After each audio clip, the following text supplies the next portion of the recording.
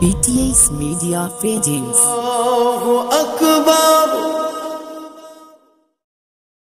সেই খান আব্দুল গফুর খানের মতো মানুষ এখন আর একটা পাওয়া যাবে? হ্যাঁ? একটা পাওয়া যাবে? একটাও পাওয়া যাবে না। ফজলে হক খাইরে আবাদি বলে একজন আল্লাহ পাকের বড় মাহবুব বান্দা ছিল। এই ফজলে হক খাইরে আবাদি ইনি একদিন রাস্তার ধারে দাঁড়িয়ে আছে আর ব্রিটিশ সরকারের বড় লাট। ব্রিটিশদের দালাল। বড় লাট রাস্তা দিয়ে আসছে। তো ইনি, এনার হাতে বন্দুক ছিল, মেরে মারবে। তো মারবে বলে টাক করেছে। আর ব্রিটিশের একটা পুলিশ প্রশাসন দেখতে পেয়েছে যে ফজলে হক খাইরে আবাদি, উনি বন্দুক তুলেছে, বড় লাটকে মারবে বলে। সঙ্গে সঙ্গে এসে ওনাকে গ্রেফতার করল, অ্যারেস্ট করল। অ্যারেস্ট করে থানায় নিয়ে গেল। থানায় যখন নিয়ে গিয়ে জেরা করছে, বলছে, আপনি একজন আলেম মানুষ, আপনি একজন পিসা মানুষ, আপনি একজন বুজুর্গ আল্লাহওয়ালা মানুষ। আর আপনি বড় লাটকে মারার জন্য প্রস্তুতি নিচ্ছিলেন কেন? তো খায়রে আবাদি, উনি একটা সম্মানীয় মানুষ। তাই ওনার উকিল যখন কোর্টে তুলবে, যখন আদালতে যখন তুলবে তোলার আগে ওনার একটা উকিল এসে ওই পীর সাহেবকে বলছে, আলেম সাহেবকে বলছে ফজলে হক খাইরে আবাদি। এনাকে বলছে, জি, হুজুর, আপনি একটু জজ সাহেবকে বলবেন যে সাহেব, আমার মিস ফায়ার হয়ে গিয়েছে মিস ফায়ার তার মানে আমি মারতে যাইনি। আমি মারতে যাইনি, দাঁড়িয়েছিলাম মিসফায়ার হয়ে গিয়েছে। এই কথাটা আপনি জজ সাহেবকে গিয়ে বলবেন, বাকিটা আমি দেখে নেব। ওনার উকিল বলছে যে এই কথাটা আপনি একটু বলবেন, বাকিটা আমি দেখে নেব। তা বলছে, ঠিক আছে, আমাকে কাঠগড়ায় তোলো, তারপর দেখব। ভাই আমার ফজলে খাইরে আবাদিকে কাঠগড়ায় তোলা হলো। কাঠগড়ায় যখন তোলা হলো, জজ জিজ্ঞাসা করছে, ওগো ফজলে খাইরে আবাদি, তুমি বড় লাটকে মারার জন্য প্ল্যান করছিলে? বড় লাটকে জানে মেরে দেওয়ার জন্য তুমি সলাকল্প করছিলে কেন? কি কারণে বলো? তখন ফজলে খাইরা আবাদি ডাটের সাথে ওই আদালতের উপরে দাঁড়িয়ে জজের সামনে বলেছিল জাহাপানা এটা আমার ব্যর্থতা। আমি বড় লাটকে মারতে পারিনি এটা আমার ব্যর্থতা আল্লাহ যদি কোনোদিন মারার তৌফিক দেয় আমি বড় লাটকে জীবনে যদি সুযোগ পাই, সেদিনে আমি শহীদ করব, জোরে বলেন। আরেকটু জোরে বলবেন না? আরেকটু জোরে বলবেন না? আমি এক কথা একবারও বলব না, যে হিন্দুদের কোনো অবদান ছিল না। ওরাও যেমন ছিল, পাশাপাশি মুসলমানদেরও অবদান ছিল। এরা কম অংশে কম না। তখন ওই ফজলাহ খায়রে আবাদের উকিল মুখের দিকে তাকিয়ে আছে, যে লোকটা কি? লোকটা কি? এতটুকু মিথ্যে কথা বলতে পারেনি। ভাই, আল্লাহ পাকের মাহবুব যারা আল্লাহর হয়ে যায়, তাদের ভিতরে মিথ্যের কোনো লেশ পাওয়া যায় না। জোরে বলবেন না? আর একটু জোরে বলবেন না? আর আজকের আমরা দালাল মুসলমান। দালালি করতে ভালোবাসা। মোনাফিকি করতে ভালোবাসি। একদিকে ভালো সাজতেছি অপর দিকে লাগালাগি করতেছি। এই আমাদের অবস্থা। এইবারে ফজলা খাইরে আবাদির ছোট্ট একটা ঘটনা শোনেন।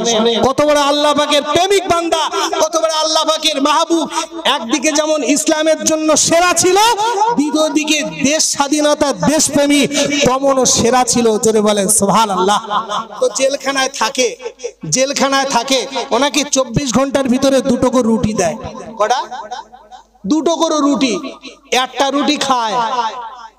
একটা রুটি খায়, আর একটা রুটি, একটা রুটিতে লিখে দেয়। কি লেখে? একটা রুটি লিখে দেয় যে, আন্দোলনটা তোমরা চালিয়ে যাও। এটা চিঠি আর কি। ওই রুটিতে লেখে, এইভাবে আন্দোলন করবে, এই জায়গায় দাঁড়িয়ে থাকবে, এই পিলাটা আন্দোলন করবে। এইভাবে চিঠিতে লেখে, ওই রুটিতে লিখে জেলখানার থেকে বিদ্যুৎ থেকে দূরে ছুঁড়ে রাস্তায় ফেলে দেয়।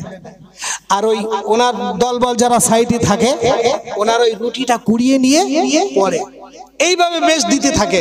জেলের ভিতর থেকেও আন্দোলন করার ওখান থেকে আন্দোলন করছে ব্রিটিশ তাড়াবার জন্য। ভাই একদিন জেলার ওই রুটিটা দেখতে পেয়েছে যে রাস্তা একটা রুটি পড়ে আছে। কি ব্যাপার এখানে রুটি? রুটিটা তুললো তুলে দেখে ওই রুটিতে কিছু কথা লেখা আছে। কিছু কথা লেখা আছে। তো এবার জেলার জেলখানায় গেল। জেলখানায় কয়েদিদেরকে বলছে "এই, রুটিটা কে ফেলেছে? সবাই তো জড়ো সড়ো জি হুজুর আমি না আমি না আমি না আমি না আমি না। সবাই জড়ো হয় ফজলা, খয়রা আবাদির কাছে গেল। যাই গিয়েছে, ফজলা, খয়রা আবাদি বলছে, জেলা সাহেব, ও রুটিটা আমার, ও রুটিতে আমি লিখেছি। জোরে বলেন সোহান আল্লাহ আর একটু জোরে বলবেন না সোহান আল্লাহ বলছে, তুমি যা জিনিস, তোমরা রেখে রাখা যাবে না। এখানে আর রাখা যাবে না। ওনাকে নিয়ে চলে গেলেন আন্দামানের সেলুলার জেলে। আন্দামানের সেলুলার জেলে ওনাকে রাখল আর রেখে উনি একজন বাকায়দা, আল্লাহ পাকের অলি বান্দা, আলেম বান্দা। উনি ওনাকে ওখানে জেলখানার পেশাব, পায়খানা পরিষ্কার করার কাজ দিলেন আর ওই জেলেই থাকলেন। সোনার মানিকেরা নজওয়ান যুবকেরা আমার আব্বা জানেরা মুমিন মুসলমানেরা দেশ স্বাধীন হয়েছিল, শুধু হিন্দু ভাইদের অবদান আছে, বিনায় বাদল এমনি করে, বিভিন্ন রকম মানুষেরা, ঠিক তদুরূপ বাবা, এই মুসলমানদেরও কম অবদান ছিল না, সোনা আব্বা জানেরা আল্লাহ পাকের আলেম বান্দা হজরতে ফজলে হা খাইরা আবাদি, হুজুর আমার, ওই জেলখানার ভিতরে পেশাব পায়খানার কাজ করে, পেশাব পায়খানা পরিষ্কার করে। ওই জেলার ভিতরে একজন বড় অফিসার চলে আসলো। একটা ফার্সি ভাষার একটা কবিতা। ওই ফার্সি ভাষার কবিতাটা ইংরেজি, আপনার কিনা ইংরেজিতে অনুবাদ করতে হবে। ইংরেজিতে অনুবাদ করতে হবে। সকলের কাছে গিয়ে বলল, আমার এই ফার্সি ভাষাটা ইংরেজি ভাষায় একটা অনুবাদ করতে হবে। সকলেই পারল না। কেউ পারল না, বাবা। একজনকে দেখিয়ে দিল, যাও। ওই ফাইজে ফজলে হক আবাদির কাছে যাও। উনি মনে হচ্ছে, উনি মনে হচ্ছে ওই ফার্সি অনুবাদটা ইংরেজিতে অনুবাদ করে দেবে। কত বড় শিক্ষিত মানুষ, কত বড় পণ্ডিত মানুষ। ফজলে হক খাইরা আবাদির কাছে গেল, গিয়ে ডাকলেন, ওগো, কে একজন এসছে আপনার সাথে একটু কথা বলবে? উনি বলছে দাঁড়া আমি পায়খানাটা পরিষ্কার করে তারপর যাচ্ছি। পায়খানা পরিষ্কার করল, হাতে আছে বালতি আর ঝাঁটা। সেই ঝাঁটাটা বার করে নিয়ে আসলেন। এসে বলছে, বলেন, তা বলছে, দেখেন, আমার এই ফার্সি লেখাটা একটু ইংরেজি ভাষায় ট্রান্সলেশন করে দিতে হবে, অনুবাদ করতে হবে। একটু পারবেন? তা বলছে, আপনারা খাতা পেন দেন, খাতা পেন দেন। এইবার ওই পুলিশ কমান্ডার হেড, উনি খাতার কলম দিলেন।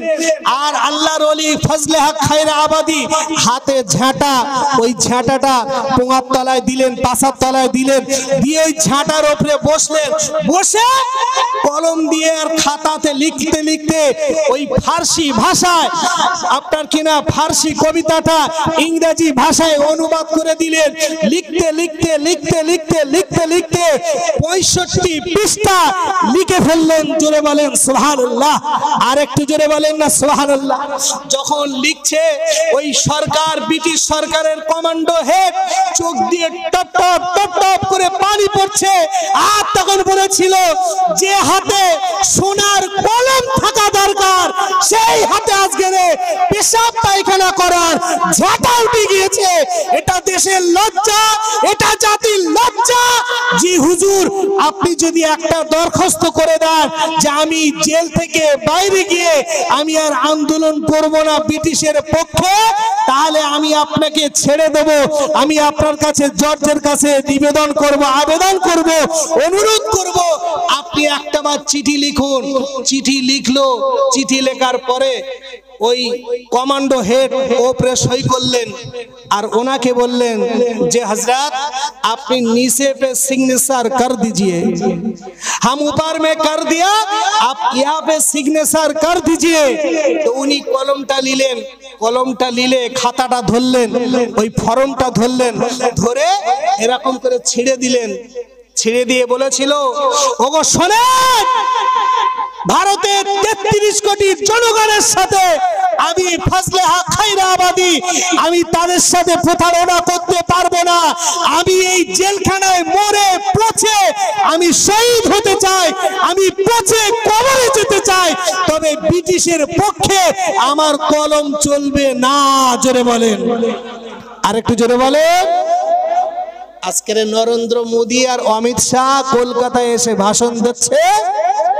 দু কোটি ঘোষপেটিয়া चुन चुन के बांग्लादेश में लिखल कर दिया जाएगा সারা পৃথিবীর বিখ্যাত টাক আজকের তুমি এরোপ্লেন চেপে বেড়াচ্ছ প্রধানমন্ত্রীর গদিতে তুমি বসে আছো সেদিনই যদি ফয়সলে হক খয়ের আবাদির মতো মানুষেরা যদি তারা তারা যদি ওইভাবে আন্দোলন না করতে তুমি আজকের ওই গদিতে বসতে পারতে না তাই মুসলমানরা এ ভারতবর্ষের জন্য যা করেছে তাই তো তুমি আজকের ভারতের প্রধান- প্রধানমন্ত্রী হয়েছো আর না তো ওই ব্রিটিশরা এখনও রাজত্ব করতো, ঠিক না বল একটু কথা বলেন।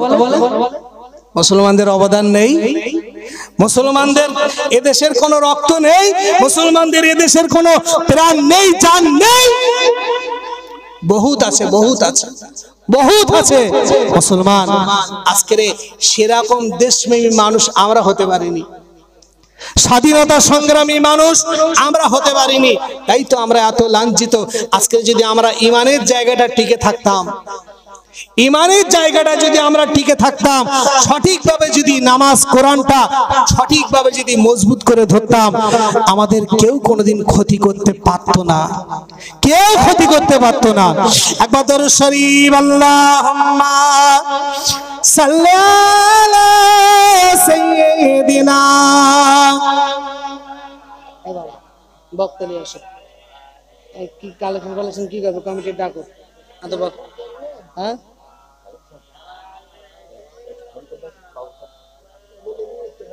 একটু কলমা থেকে লা ইলাহা ইল্লাল্লাহ, লা ইলাহা। বক্তা নিয়ে আসো লোক থাকে না, আমি আওয়াজ করতে পারব না। ভাঙা মাঠে কি কালেকশন হ্যাঁ? আমার খুব দুঃখ লাগল, খুব আফসোস। লোক থাকল না, চলে গেল। জানি কি জানি কি হলো। আল্লাহ পাকি ভালো জানে? জি। আল্লাহ পাকি ভালো জানে? তবে আমার এই ধরামারির ভাইরা এবছরে প্রথম এই গ্রামে মনে হয় এই প্রথম জলসা নাকি?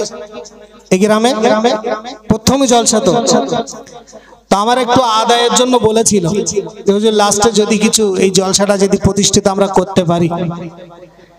যদি আমরা প্রতিষ্ঠিত করতে পারি, মানুষ যদি চায়, প্রতি বছরই মাসাল্লাহ এরকম একটা ছোট করেই হোক, বড় করেই হোক, আপনাদের সহযোগিতা যতটা হবে, সেই মানে ছোট বড় থেকেই যদি আপনারা চান, যদি আপনাদের সহযোগিতা হয়, তাহলে মাসাল্লাহ এই প্রতিষ্ঠানটা চলবে।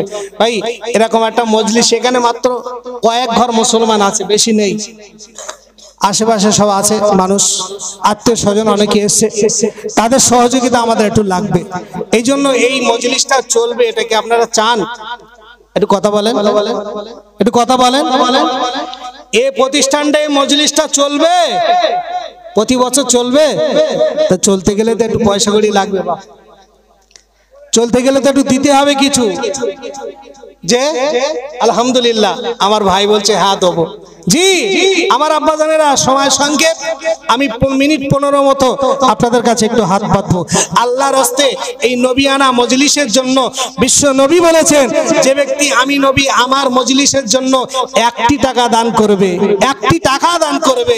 আল্লাহ পাকের নবী সাহাবা হযরত আবু বাক্কা সিদ্দিকী বলেছেন ওই ব্যক্তিটার জন্য আমি রসুল্লাহ জান্নাতের ভিতরে আমি আবু বাক্কার আর ওই এক টাকা দানের ব্যক্তি জান্নাতের ভিতরে বন্ধু হয়ে যাব। জোরে বলবেন না? আর একটু জোরে বলবেন না? আর একটু জোরে বলবেন না? ভাই, বিশ্ব নবীর মজলিসের জন্য এই এতগুলো ভাইয়েরা আছেন। আমি আগামী বছরের জন্য একজন ভাইয়ের কাছে বলব, একটা হাজার টাকা আগামী বছরের জন্য একটু বলতে পারবেন? কি নাম? আতিয়ার রহমান মন্ডল আমার বাবা জুনি বলছে, আমার বিশ্ব নবীর জন্য আমি একটা হাজার টাকা দান করব। আপনারা খুশি না বাজা একটু কথা বলেন? আর বাবা, একটু খুশি হন দান করতে হবে না, খুশি হন। এক হাজার টাকা আমার বাবু লিখছে কেউ? লেখ- লেখেন? লেখেন। আমার বাবুর নাম কি? আতিয়ার মন্ডল আমার বাবাজি দিয়েছে এক হাজার টাকা। জোরে বলেন না মার হাবা সকলে বলেন না মার হাবা নারে তকবীর নারে তকবীর নারে তকবীর। আমার আতিয়ার রহমান বাবাজি বলুন, জিন্দাবাদ। তাহলে আলাউলান মুরব্বিয়ান বলুন, জান্নাতি। নারে তাকবীর নারে তাকবীর। ওগো রব্বুল আলামিন, আল্লাহ আমার বাবাজি। আতিয়া রহমান বাবাজি দানটা কবুল করুন। আল্লাহ পাক রুজিতে রোজগারে বরকত দিন, জানটা ভালো রেখে দিন। আল্লাহ আপনার নবীর মজলিসের জন্য এক হাজার টাকা দান করেছে। ওগো রব্বুল আলামিন, আল্লাহ পাক কাজ কামে বরকত দিন চাষ আবাদে বরকত দিন, সংসারে শান্তি দিন। আল্লাহ পাক তামাম বাড়ির বালা মুসিবত তা হেফাজত করে নাও। আল্লাহ তোমার অলিবান্দাদের নেকি দোয়া, ফুরফুরা দরবার শরীফের নেক দোয়া